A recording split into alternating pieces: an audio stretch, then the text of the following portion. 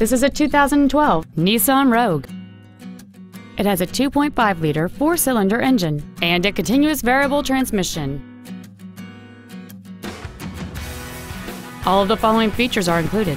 Traction control and stability control systems, air conditioning, cruise control, side curtain airbags, child seat safety anchors, rear seat child-proof door locks, an energy-absorbing steering column, a keyless entry system, a rear spoiler, and this vehicle has fewer than 40,000 miles on the odometer.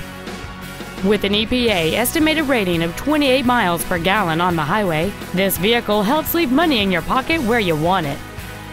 Contact us today to arrange your test drive.